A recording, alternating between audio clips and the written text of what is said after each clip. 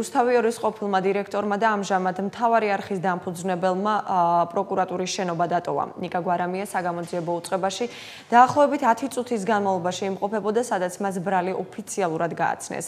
მისი განცხადებით, ბრალდებაში ახალი არაფერი ეწერა და ის მიმდინარე გამოძიებას მთავარი არხის ეთერში გასვლას უკავშირებს. გვარამია არ გამორიცხავს, რომ მოხდეს მისი დაკავებაც, თუმცა აცხადებს, რომ პროცესების ამგვარი განვითარების შემთხვევაში არხს სხვა დირექტორი ეყოლება და აღნიშნავს, რომ თავარ არხს მაუწყებლობასთან დაკავშირებით პრობლემები არ შეექმნება.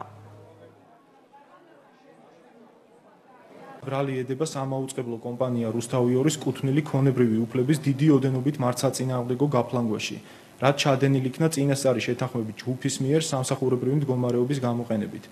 აგრეთვე კომერციულ მოსყიდვასა და ყალბი ოფიციალური დოკუმენტის დამზადებასა და გამოყენებაში, რამაც ნიშნულოვანი ზიანი გამოიწვია.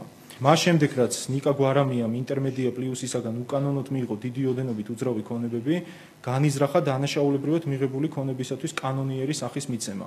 მისი ნამდვილი ბუნების, წარმოშობის წყაროს და საკუთრების შენიღების მიზნით.